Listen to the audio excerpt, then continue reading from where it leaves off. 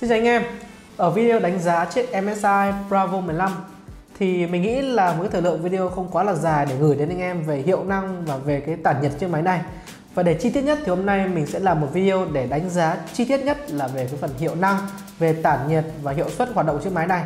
Liệu những chiếc CPU hay là card đồ họa của AMD có nóng như là CPU của Intel hay không?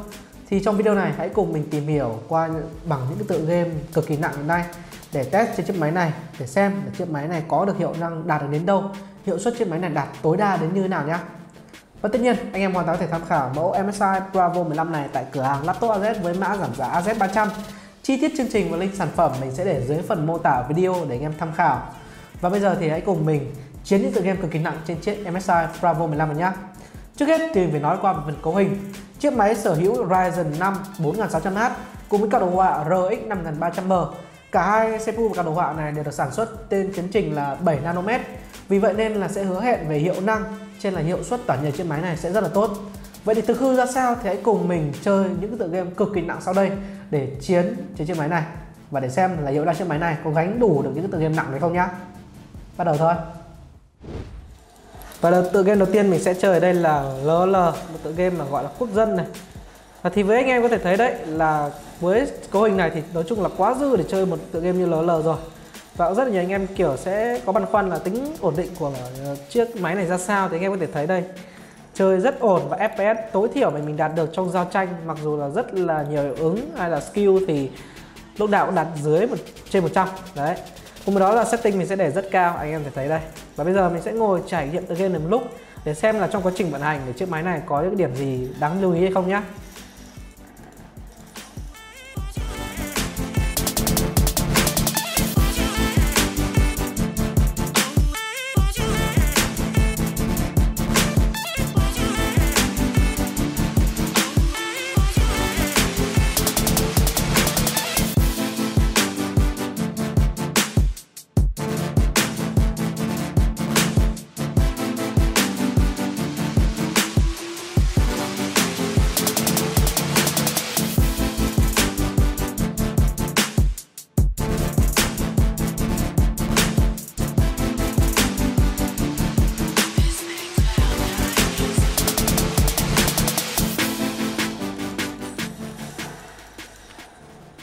và qua quá trình trải nghiệm thì anh em thể thấy đấy, là FPS tối thiểu mà mình đạt được là khoảng 62 và trong quá trình chơi game, anh em thể thấy đây là nhiệt độ cả đồ họa là 55 còn nhiệt độ của CPU lúc nào cũng dao động dưới 80 độ.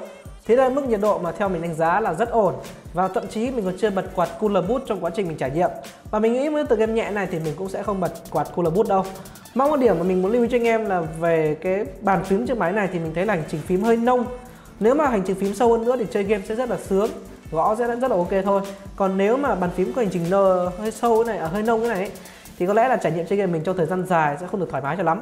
Về màn hình thì mình nghĩ là độ sáng màn hình này ở mức vừa miếng và mình nghĩ là màn hình này cần có độ sáng cao hơn một chút nữa thì trải nghiệm chơi game sẽ rất tốt hơn. Ok và bây giờ thì có lẽ với tựa game LL này như vậy là có lẽ là quá đủ rồi quá là nhẹ nhàng thế nên là mình sẽ không test quá nhiều nữa và chuyển sang một tựa game nặng hơn một chút là Sniper Elite để xem là hiệu năng chiếc máy này ra sao nhé và tựa game tiếp theo mình sẽ chơi ở đây là Sniper Elite 4 hay là Elite 4 thì setting mình sẽ để là medium để thăm anh anh em chơi nhá.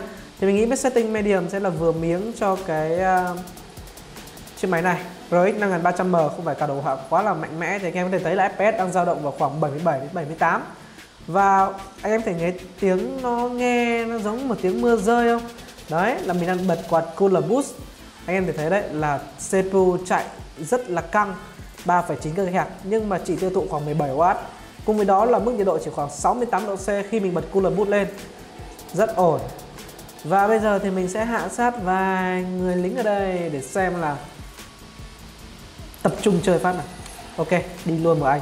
À, như anh em có thể thấy đấy là mức hiệu năng của máy cho ra rất ấn tượng. Cao đồ họa chỉ 60 độ này CPU chỉ 64 độ này. Thế còn lăn tăn gì nữa thôi. Bây giờ phải chơi trong một khoảng thời gian dài nữa mới kiểm định được kiểm định được là cái nhiệt độ này có đúng chuẩn như thế không nhá? Thì bây giờ mình sẽ ngồi chơi tựa game này khoảng 10 đến 15 phút nữa để xem hiệu năng của chiếc máy này ra sao.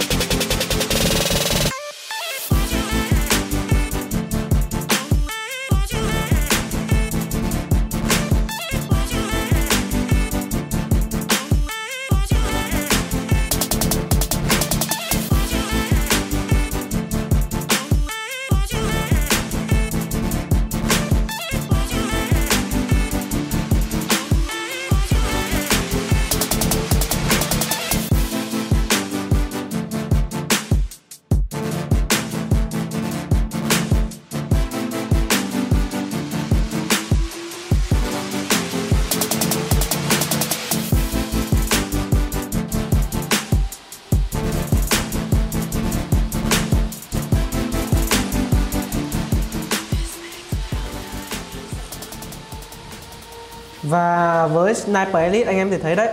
Mức khung hình tối thiểu mà game này cho ra là trên 65 fps quá ngon. Và như anh em thể thấy là về nhiệt độ của máy thì hoạt động rất là mát mẻ rồi 67 độ C 59 độ C. Mình không muốn đề cập về cái nhiệt độ của máy nữa mà mình muốn nói đến cái phần là cái, cái chiếu nghỉ tay ở phí vì sao. Mặc dù là chiếu nghỉ tay kim loại đấy nhưng mà không hề nóng một chút nào khi mình đặt tay ở phần này. Nhưng nếu anh em sờ lên trên cái phần khe gió tản nhiệt đây thì thực sự nó rất là nóng. Thế nên là anh em sẽ phải lưu ý là đừng đặt tay lên cái phần trên uh, chiếu ghi tay đây, phần nút nguồn ở trên này này sẽ khá là nóng đấy. Còn về những cái yếu tố khác thì mình cũng đã nói rồi. Về màn hình thì chỉ cần độ sáng cao một chút nữa sẽ cho trải nghiệm chơi game tốt hơn. Bàn phím thì hành trình sâu hơn nữa thôi. Và với một tựa game như Sniper Elite ăn nặng về cả đồ họa thì có lẽ là CPU đã hoạt động khá là mát rồi. Vậy nên mình sẽ chuyển sang một tựa game nữa được tối ưu tốt cho CPU AMD để xem là hiệu năng của chiếc máy này khi đạt đỉnh điểm và cái nhiệt độ của các độ CPU sẽ đạt được max đến đâu nhá. Ok, vậy thì chuyển sang một tựa game tiếp theo là World War Z. Let's go.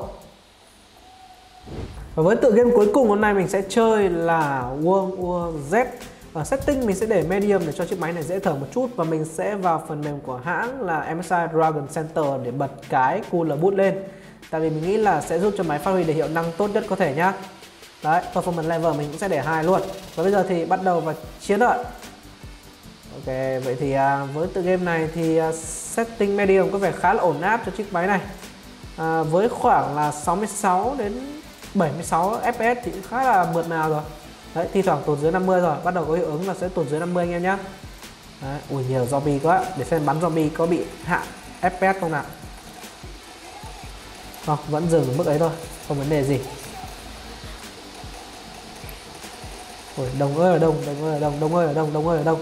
Và như anh em thể thấy đấy là với rất nhiều zombie FPS có thể tụt xuống dưới là khoảng 50 nhưng nói chung là trải nghiệm chơi game của mình trên chiếc máy này vẫn rất ổn. Và thậm chí nếu chiếc máy này có màn hình 120Hz nữa thì đây là một cái trải nghiệm chơi game rất đã. Nhưng tất nhiên rồi trong tầm tiền cái điểm đánh đổi là chúng ta cho màn hình tần số quét cao. Mình hy vọng là sẽ có phiên bản option màn hình tần số quét cao chẳng hạn như kiểu 120Hz thì chắc chắn là chơi game sẽ mượt mà hơn với cá nhân mình cũng sẽ khuyên anh em mua phiên bản 120Hz Ok, và với tựa game này thì mình sẽ tiếp tục ngồi chơi thêm tựa game một chút này nữa. Anh em thể thấy đấy, là bắt đầu CPU phải hoạt động vất vả hơn một chút là 40% rồi. Liệu là chiếc máy này có nóng hay không? Thì bây giờ hãy cùng theo dõi nhé FPS đang khoảng 76 đến 80 độ C.